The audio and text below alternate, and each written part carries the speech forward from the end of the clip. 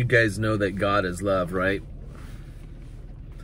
First John 4, verse 12 says that if we love one another, God abides in us and his love is perfected in us. See, God is love.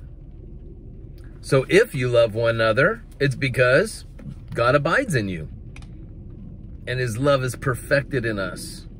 Where is his perfect love, right? Where is this love?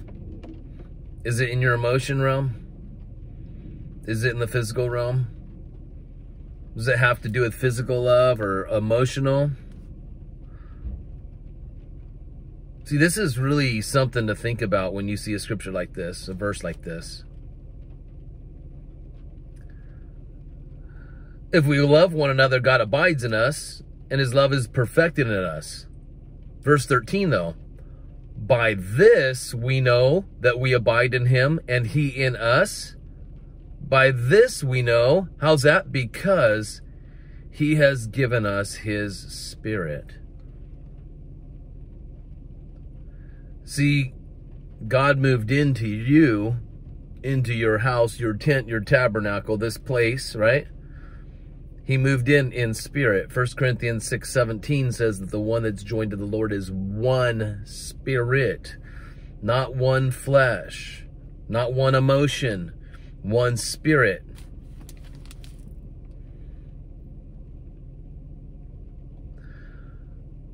Verse 15 how do you get the Spirit of God in you? Verse 15, whoever confesses that Jesus is the Son of God, God abides in him, and he in God. Whoa. God abides in you. That means God lives inside of you, and you live inside of God. You confessed in Jesus that he's the Son of God. Man, it's powerful. Verse 17, by this is love perfected with us so that we may have confidence for the day of judgment. Listen, you guys, when you hear that thing about the day of judgment, be confident. Don't be confident because you show love or don't be unconfident because of your lack of showing love. If the Spirit of God is in you, you have all the love in you, right? It's just learning to take that and use it and give it out. Some of us have a really hard time with it because mentally we've been blocked, right? Emotionally we've been blocked for whatever we've gone through in our lives. But don't worry, the Spirit of God lives inside of you. In fact, his perfect love, in verse 18, it says it casts out fear because fear has to do with punishment. And whoever fears has not been perfected in love. So if your emotion realm is in fear, it's because your emotion realm hasn't been perfected in love. Your spirit's never in fear. Your spirit has been perfected in love. Do you understand? This is all the process of the renewing of our minds, you guys. The reason we love is because he first loved us, verse 19 says. Now check this out. Verse 17 of 1 John 14. Or 1 John 4. Verse 17. The end of that verse says, as he is, so also are we in this world. As he is, so also are we in this world. As God is, so also are we in this world. As Christ is, so also are we in this world. What? How? How is that possible? Is God in pain? I'm in pain. If God's not in pain, but I'm in pain, and I'm in this world, and I'm in pain, and it says, as God is, so am I in this world, then then what is that? Does that mean God's in pain or does that mean I don't have God in me? Interesting stuff. Let's go to 1 Corinthians chapter 15. I'll try to answer these questions as I drive. 1 Corinthians chapter 15. I went into 1 Corinthians 15 yesterday in a video. There's so much to it, you guys. There's so much to it. I mean, look at, you talk about lots of lots of notes. I circle the meaning of words. I put a lot of notes in my Bible. I really, really went into depth over First Corinthians 15. Yesterday I was talking about becoming immortal. And it's really powerful, you guys. But let's see, where do I want to read? I know it's 1 Corinthians 15, but now I have to find the verse that I'm looking for. verse 45.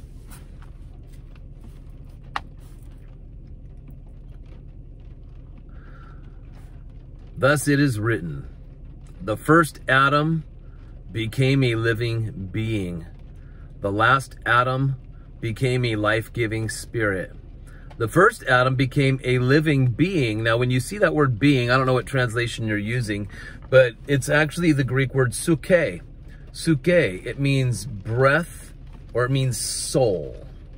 Suke is your soul, actually, a living soul.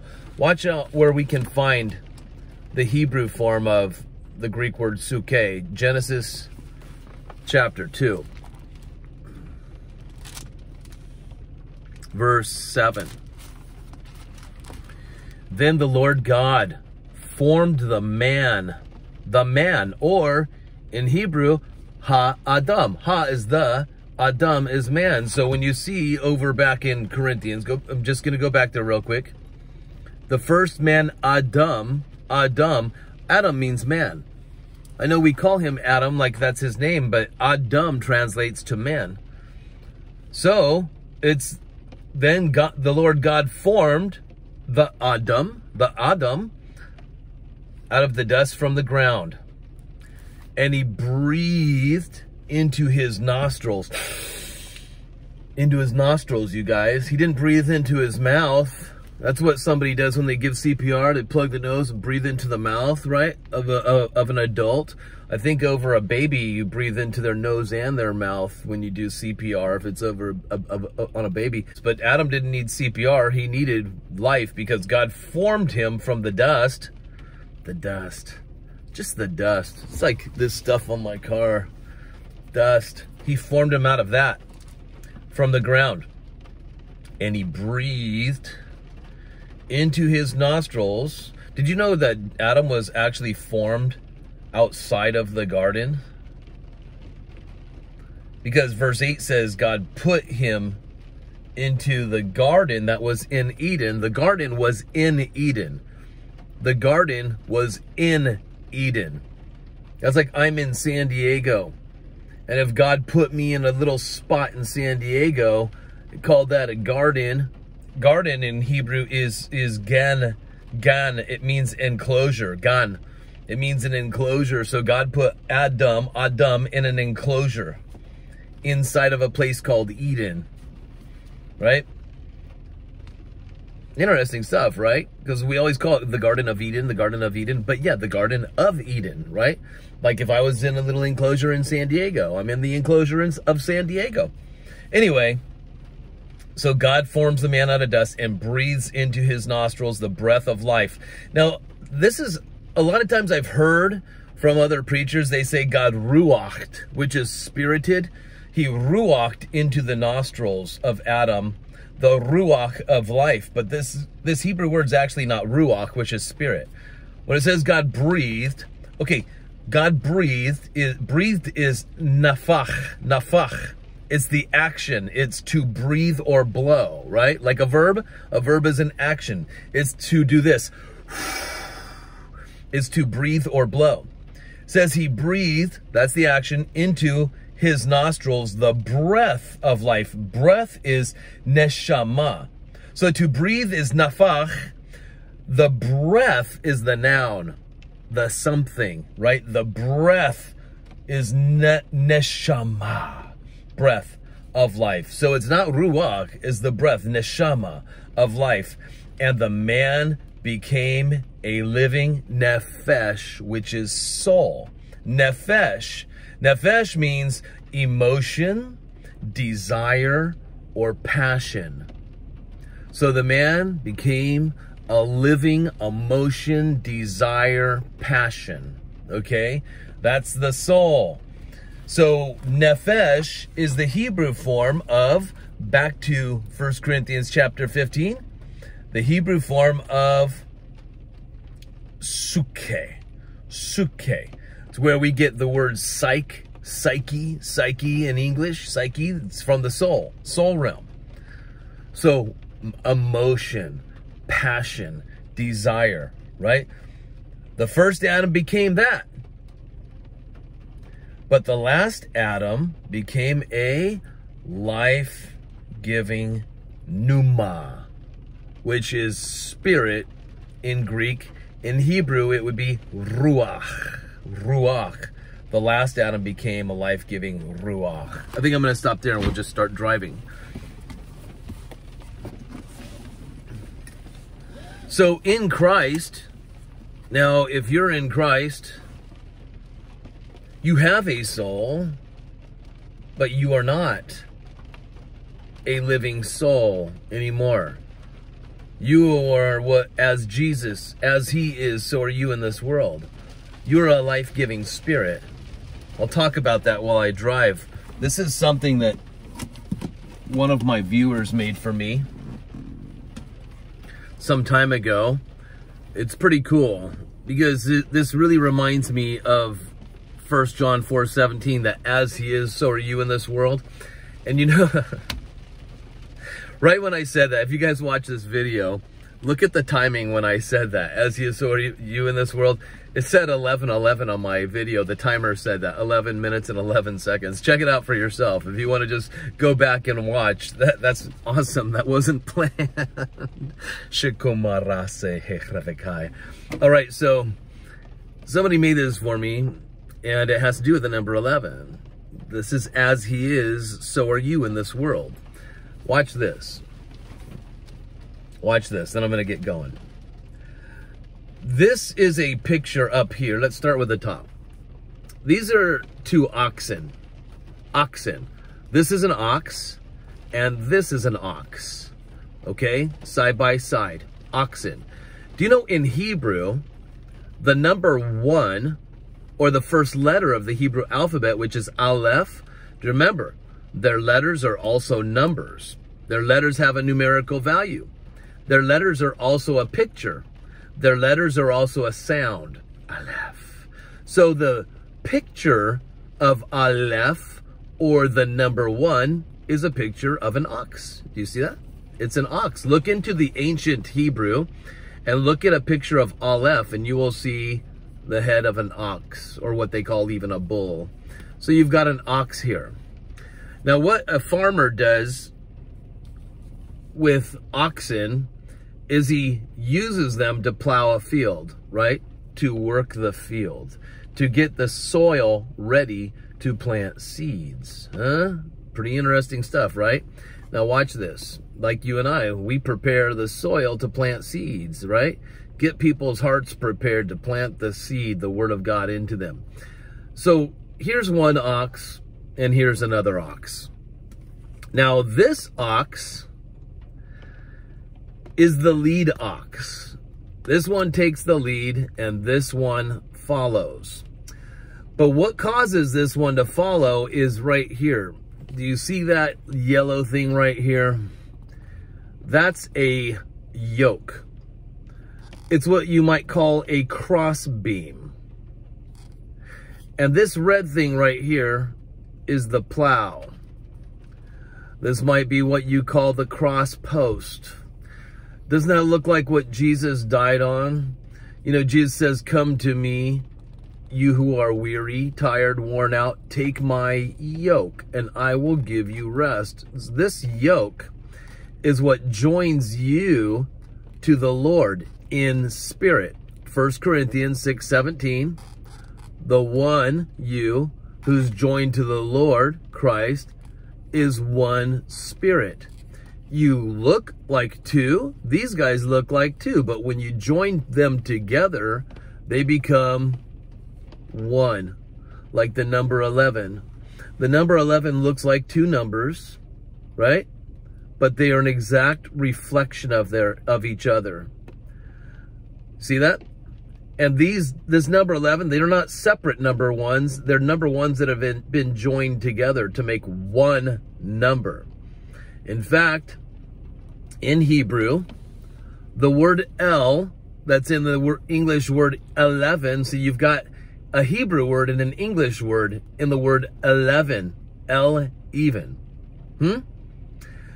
These are two words, one in Hebrew, one in English. El in Hebrew is right here, God. That's what it means, God.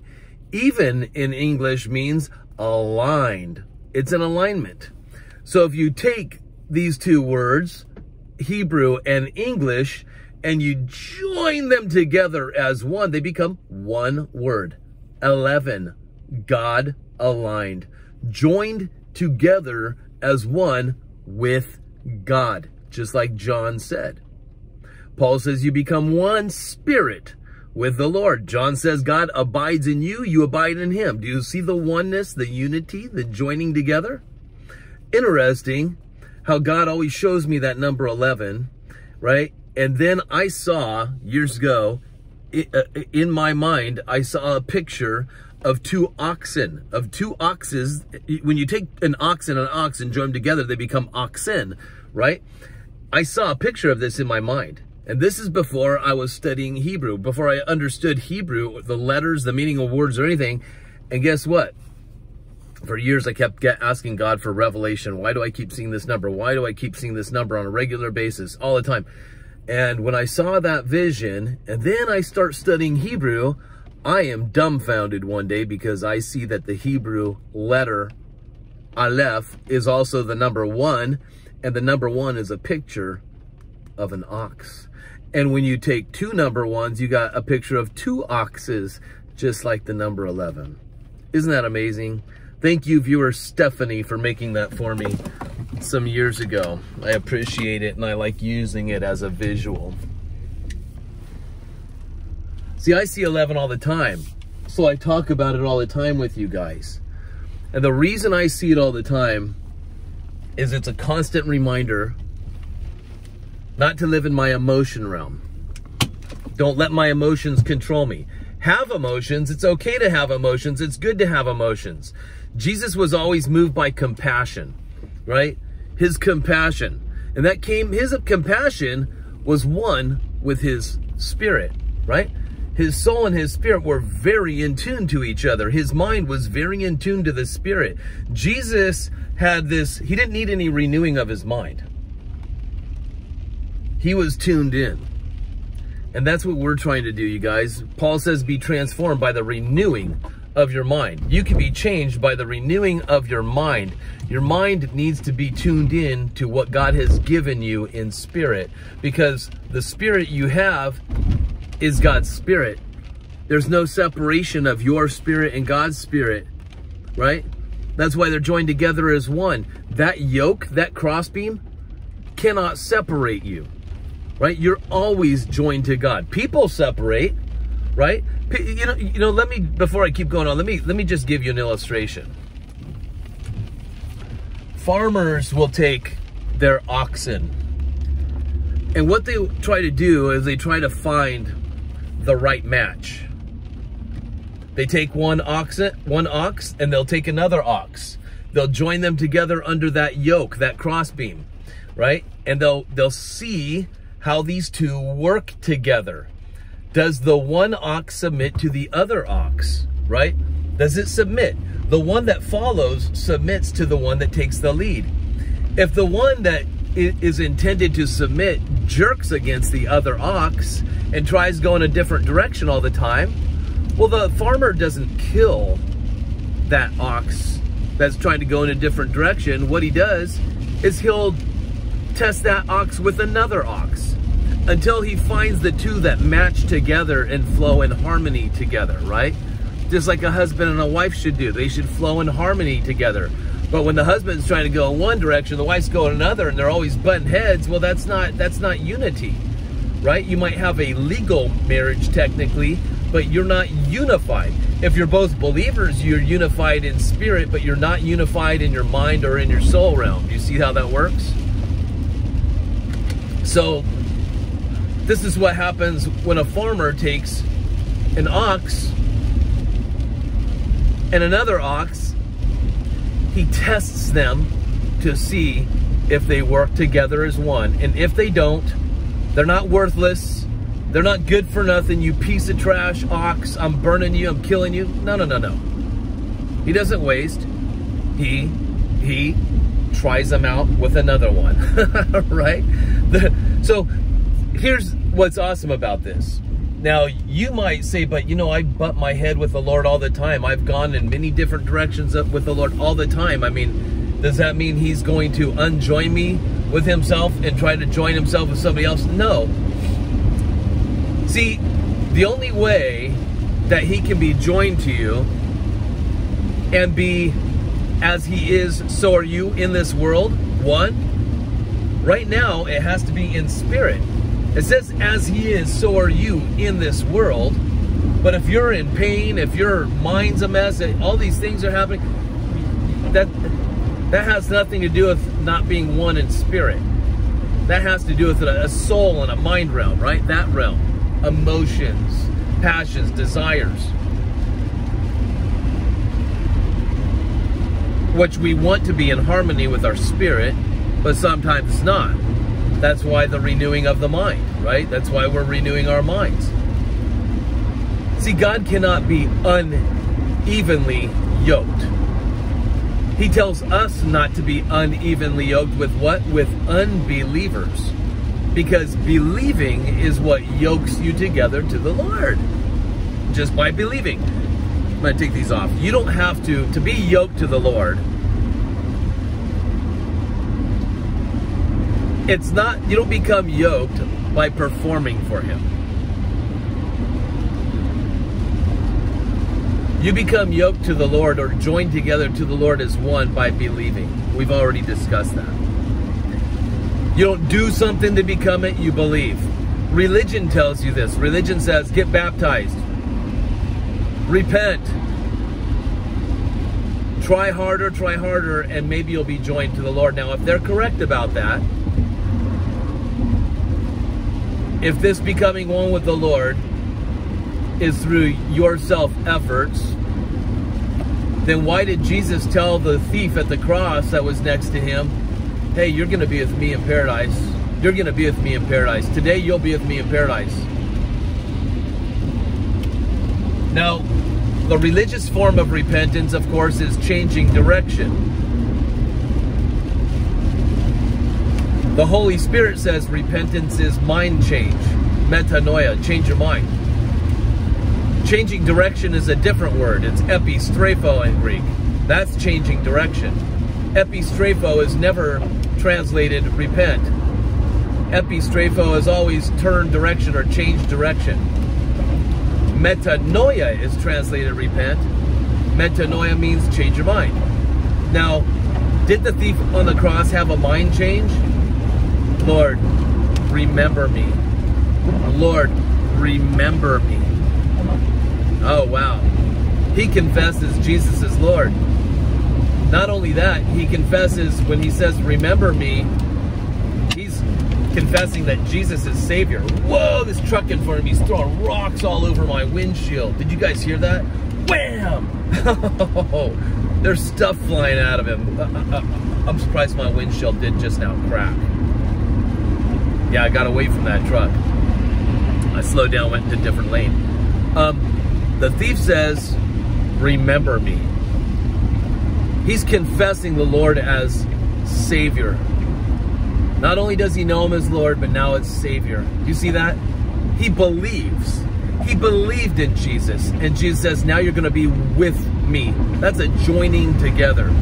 Today, you'll be with me in what's going to be called paradise. Do you know that that thief, by the way, do you know I believe this, that he never experienced peace like he did when he was on the cross. The Lord can give you peace at your very darkest hour. The thief is on the cross, but never in his life did he experience peace than when the Lord said, today you're going to be with me. That's peace that surpasses what we call all understanding. You can't comprehend a peace like that. You're on a cross, you got nails in your hands, you're suffering. People are mocking you, ridiculing you, looking at you while you're hanging there naked.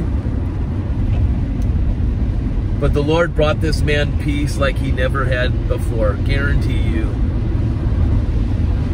So you can't say that this thief did any changing direction like religion says to do to get saved.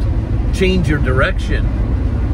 The thief didn't jump off and say, okay, Lord, look, and I'm changing my direction. And he didn't even get baptized. There's a, is there a pool of water somewhere, Lord? Can I get off of here and jump in the pool of water, get baptized, get saved? See that? Baptism is a declaration of what already is. Just like partaking of communion, you are declaring what already is. You're not partaking so that you, when you eat the bread, you will be healed. You don't partake that when, so that when you drink the wine or the grape juice that represents Jesus' blood, you don't partake of that so that you will be saved, so that you will be forgiven. When you partake of the bread, you're declaring what he has already done. By his stripes, I was healed. By his broken body, I am repaired. I've been repaired. Whether my body is is is going into alignment with what is in the spirit, that doesn't matter right now. I'm declaring the truth with my mouth and I'm partaking of these these elements or emblems because that is the truth. I'm declaring what's already been done. And so, the same is this. When you get baptized, you're declaring already what has already been done. I have been crucified with Christ. I have died to my old self. I have been buried with him, and I am risen in him, righteous and innocent, not guilty.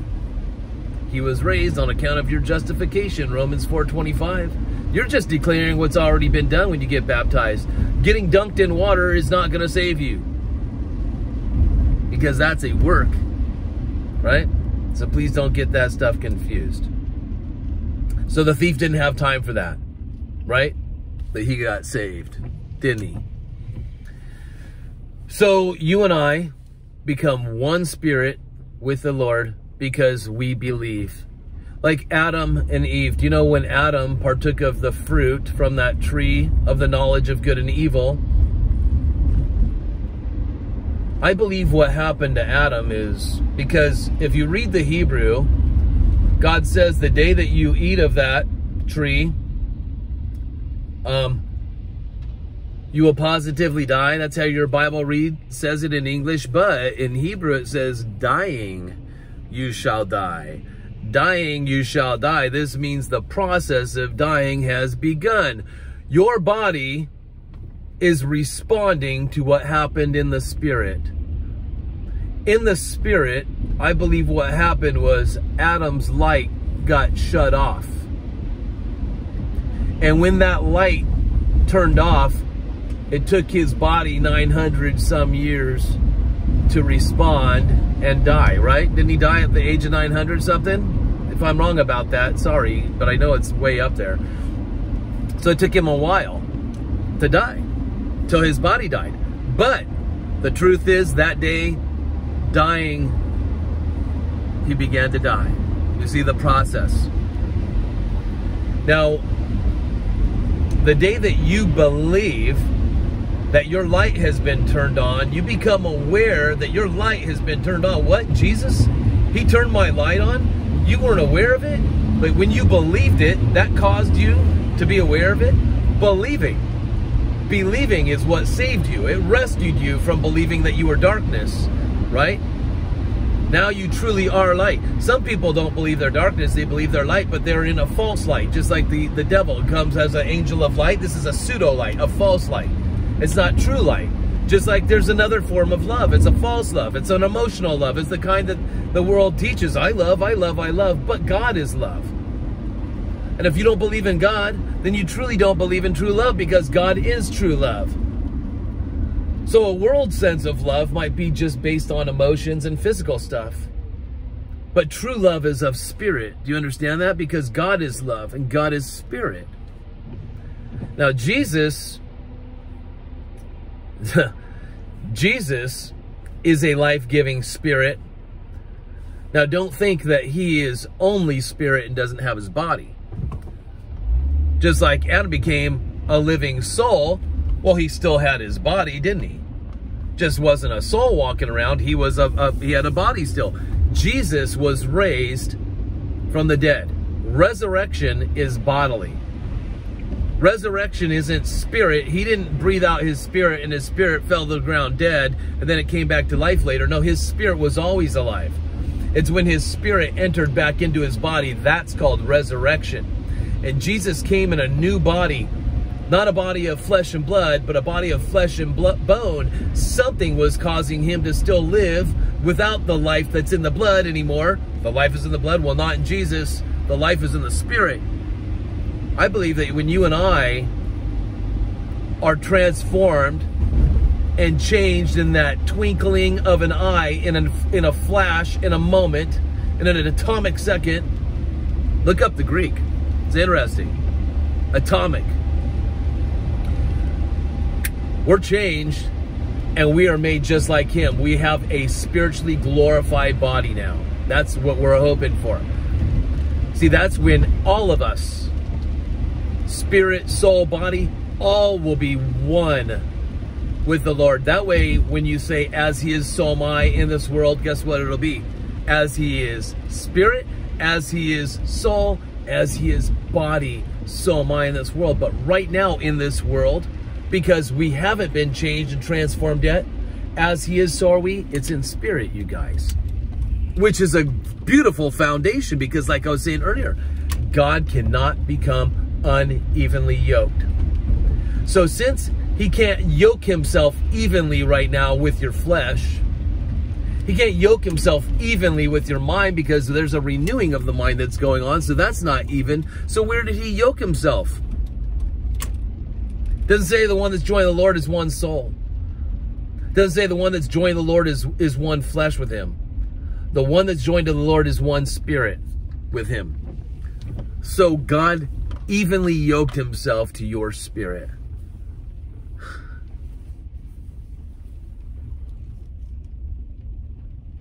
That's why I believe that when, when we partake of that marriage ceremony with Jesus, that's when we put on what I what is called in Greek oikaterion. That's where we become one body, one soul, as we are already one spirit with him. That way, when he officially marries you, you're married in spirit, but I'm talking about when the whole wedding celebration of the bride and the groom, that's where you're transformed, every part of you. And now he can equally yoke himself to every bit of you, spirit, soul, body, joined as one, just like him. As he is, so are you in every way. But right now, we're joined to him in spirit. And what God has joined together, no one can separate that, you guys. No one can. That's why I see that number 11 all the time. It's a reminder of who I am and who you are in Christ. I'm going to keep on preaching this 11 stuff because it's so powerful. And we do need constant reminders of it, don't we? Let me just think if I'm forgetting to say anything before I go.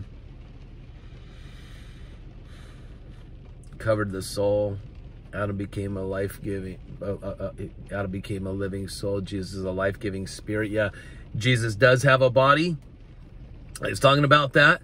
So he's a life-giving spirit. You have a body, but you are a life-giving spirit. That is why when you speak to the mountains, they move, right? That mountain must not be life, right? It must be death so when you speak to it, move out of the way. You're casting out death. Do you understand? When you are laying hands on the sick, Mark 16, Jesus says that. You'll lay hands on the sick, they'll be well. So when you're laying hands on the sick, that life that you're giving to them, so sickness has to flee, you know that life doesn't come from your hand. Your hand is just an instrument to deliver what is in you, that spirit. So you are a life-giving spirit. Do you understand that? You have your soul, you have your body, but you are a life-giving spirit, just like Jesus. He was made a life-giving spirit, that second Adam, right? Second Adam. First Adam became a living soul. Last Adam became a life-giving spirit. The first will become last, and the last will become first. So now, you're not a living soul, You're a life-giving spirit. The last, second Adam became first. Boom. And the first, Adam became last, the soul. So now you carry your soul, right? Do you understand that? Yeah. Okay, I think that's it. I think that's where I, where I wanted to finish, you guys. Just remember, you're always one with the Lord. You're joined to the Lord in spirit. Now we're getting that soul realm and we're that mind realm and getting our body to cooperate. You understand that? I hope so. I hope this message has blessed you. I love you guys. Thanks for watching and I'll see you all in the next video. Have a great day.